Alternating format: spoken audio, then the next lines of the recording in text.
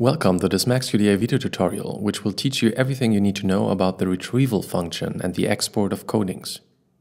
As the name suggests, retrieval refers to the process of retrieving coded segments, for example by activating certain documents and codes. You may know this from the Getting Started tutorial.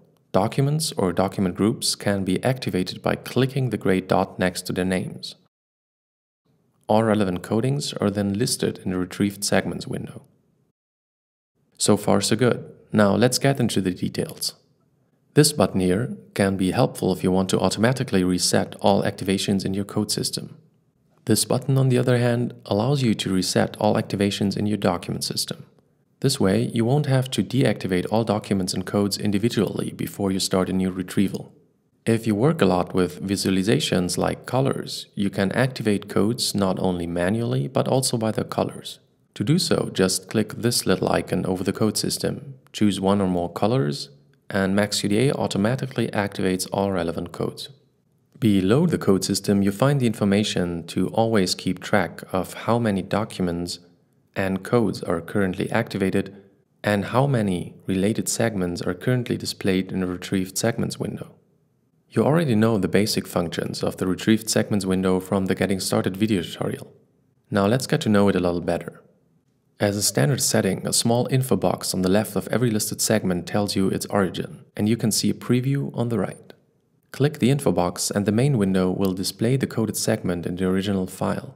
You can reassign the code of a coded segment by dragging and dropping the info box from the retrieved segments window onto the code in the code system. If you want to copy the coded segment instead of reassigning it, just press the Alt key whilst you drag and drop the coded segment. If you want to recode all coded segments from one retrieval with a new code, use this icon for the option Code Retrieved Segments with a new code. Or you use the option right next to it to code all segments with the code currently shown in the quick list, that is, the code you used last. The Retrieved Segments window can be changed to a table view by clicking this little symbol. Instead of previews of the selected sequences, it will then list background information for each coded segment. By clicking on the header of a column, you can for example sort them according to document group, creation date, author, and so on. Or you can change and filter the column content by right-clicking on the column title.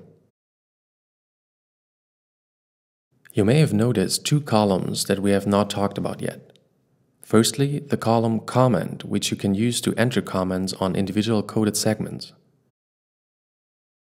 Secondly, there's the column Weight Score, here we can assess individual codings on a scale of 1 to 100 to categorize them according to their relevance. This gives us the possibility to quickly differentiate important segments from the less important ones, even if we get to a high number of coded segments at a later point of our analysis. Alternatively, you can enter comments and set a weight for your codings in the document browser by right-clicking on them and choosing the option Modify Weight.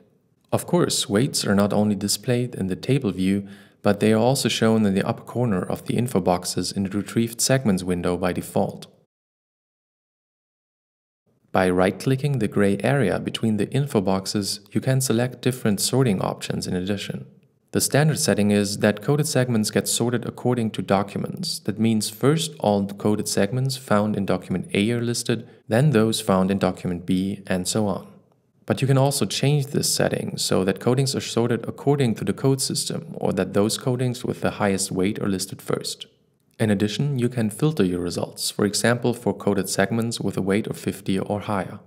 On top of the different displays the Retrieved Segments window offers, there's a third kind of overview that you can get, namely the overview of coded segments.